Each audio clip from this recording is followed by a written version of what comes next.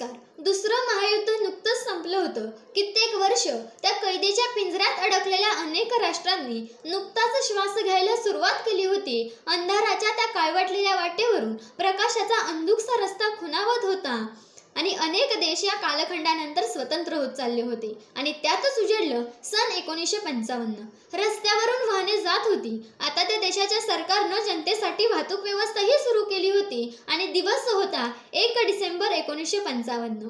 Roza Parks नावाच्या African American महिलेनं तिच्या जागेवर बसण्यासाठी एका श्वेतवर्णीय माणसाला नकार दिला आणि कृष्णवर्णीयांचा लढा सुरू झाला.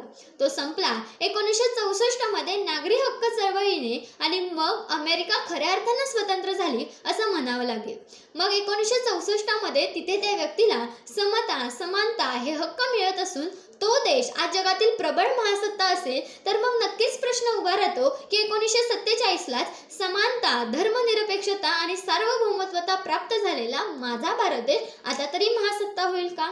याच प्रश्नचिन्हासमोरचं उत्तर देण्याचा प्रयत्न करते.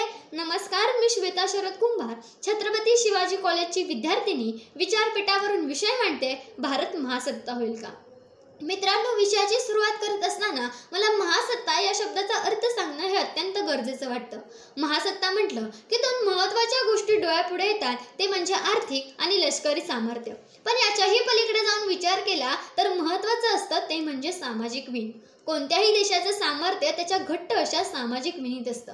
एखादा देश आर्थिक सुबत्तेत असेल किंवा त्याचं लष्करी सामर्थ्य तोडीस तोड असेल पण त्याची सामाजिक विणच घट्ट नसेल तर या दोन्ही प्रकारच्या सामर्थ्याचा काही उपयोग होत नाही.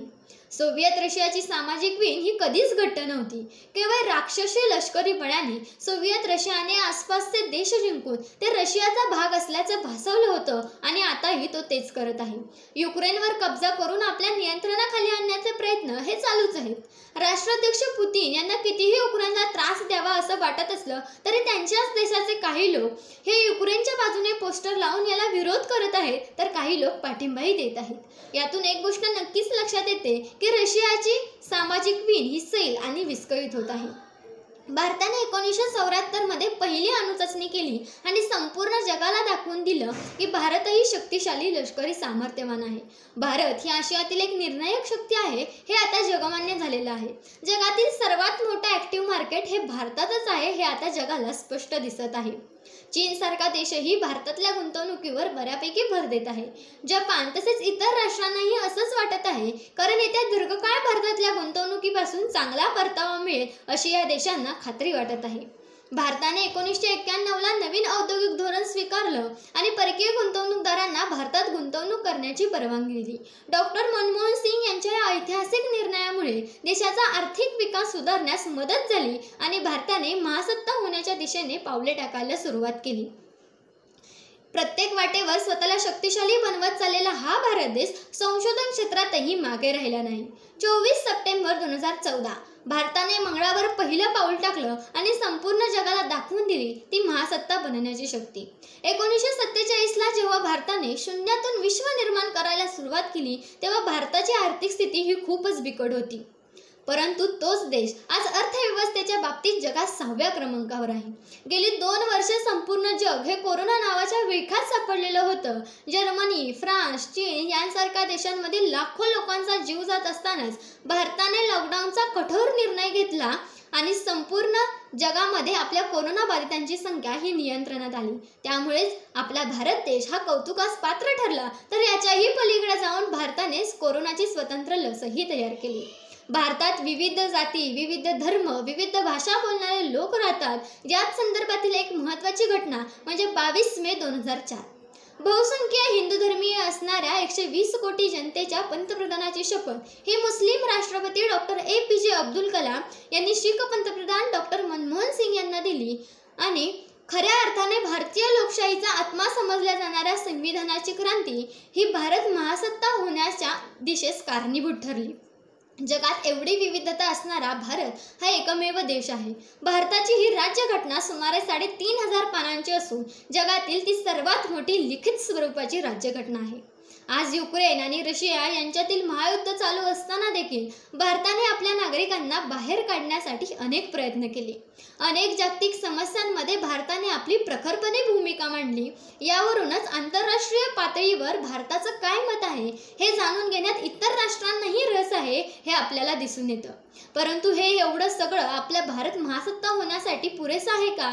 तर नक्कीच नाही. कारण तसं असतं तर संयुक्त राष्ट्र परिषदेच्या कायम सदस्यत्वासाठी भारताला विरोध झाला नसता.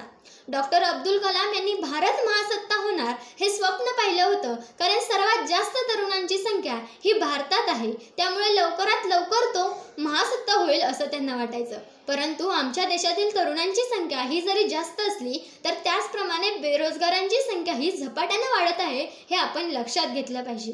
आज बेरोजगारीचा दर हा सहा पॉईंट एक टक्के एवढा आहे. भारताने तंत्रज्ञानात कितीही प्रगती केलेली असली तरी भारताचा युवा हा मोबाईल नावाच्या तंत्रज्ञानाने ग्रासलेला आहे. व्यसनाधीन बनत चाललेला आहे. भारताची महिला आज अमेरिकेच्या उपराष्ट्राध्यक्षपदी असली तरी दुसरीकडे तीच महिला सुरक्षित नाही. बलात्कार नावाचा किडा हा अजूनही काही भागांमध्ये जिवंत आहेच. ईशान्य भारतातील अशांतता दहशतवाद काश्मीरमधील असंतोष आणि नक्षलवादी समस्या या आहेतच आणि त्यांचा उद्रेक हा अधूनमधून होतच असतो. पण मित्रांनो या समस्या कितीही असल्या तरी आपण ही युवा शक्तीस या साऱ्या समस्या नष्ट करू शकतो. आपणच आपल्या भारताला महासत्ता बनवू शकतो. त्यासाठी तरुणांना मोठ्या प्रमाणावर रोजगार मिळाला पाहिजे. प्रत्येकाने स्त्रियांना महिलांना आदर दिला पाहिजे. आपल्या भारताचं लष्करी सामर्थ्य हे अधिक मजबूत केलं गेलं पाहिजे. आणि आपला भारत आर्थिकदृष्ट्या किती सक्षम होईल याचा विचार केला पाहिजे. आणि सर्वात महत्त्वाचं म्हणजे आर्थिक आणि लष्करी दृष्टीने पुढे जात असतानाच आपला सामाजिक एकोपा हा कायम ठेवला पाहिजे. तेव्हाच आपला हा भारत देश महासत्ता होईल आणि तो लवकरात लवकर व्हावा एवढाच मापक आशावाद व्यक्त करते. आणि जाताना मर्डेकरांच्या शब्दात एवढंच म्हणते की अशीच जावी काही वर्ष आणि महात्मा यावा पुढचा. अशीच जावी काही वर्ष आणि महात्मा यावा पुढचा. आम्ही आपणास पुन्हा पाहावे काढून चष्मा डोळ्यावरचा.